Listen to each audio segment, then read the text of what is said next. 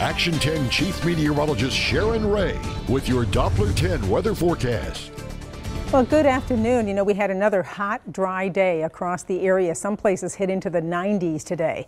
And we are watching this drought continue to worsen. This is today's drought monitor, and that severe to extreme drought is encompassing all of the coastal bend. There's a little patch here with just moderate drought north of Rockport, but all in all, we need some rain. Now, you probably heard that we do have that chance of rain in the forecast uh, anywhere from tonight through Sunday. The problem is it's not a lot.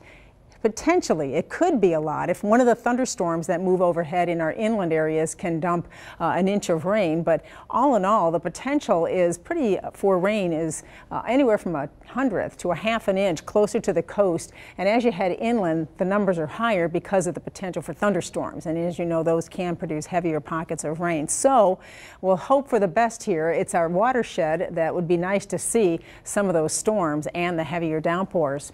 Right now, it is very hot and it's windy in Corpus Christi right now. We have 91 at Alice, but Corpus Christi at 85 and Port Aransas 76. And those winds still today, again, up to 30 miles an hour in Corpus Christi sustained. So it's really blowing out there across the area from the south southeast keeping our temperatures quite warm.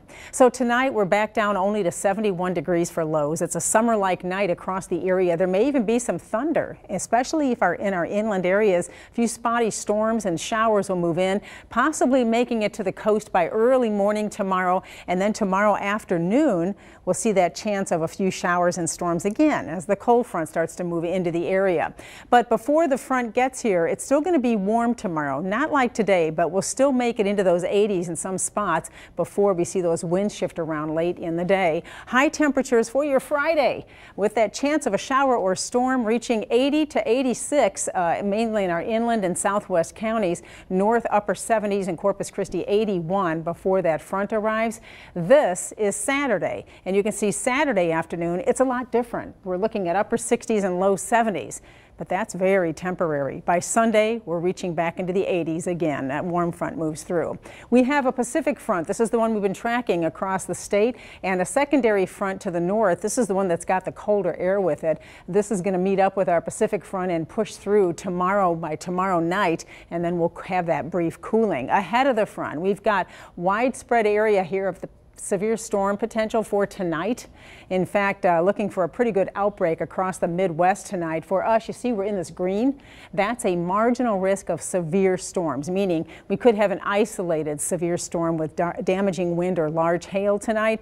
But again, the better chance is going to be in brush country and in the Rio Grande. Here's future tracker. You can see right there by midnight, potentially a few storms pulling across the area. As they move toward the coast, though, they start to weaken by early morning Friday. Friday afternoon, scattered, very widely scattered, meaning hit and miss. Some of you may be missed by the rain Friday, but nevertheless, that chance is there for some light showers to Friday night into Saturday, and then that front will start to move back to the north and will start drying out and heating back up on Sunday. Here's a look at your seven day forecast then. We are going to see that brief break for Saturday. Better chance we'll see some rain. Still low rain chances are hit and miss Saturday, but a little bit better. 70 for the high, back up to 80 on Sunday hot and humid in some places next week. Corpus Christi reaching into the upper 80s by Wednesday, and that humidity is with us all week long. We'll have more news coming up right after this.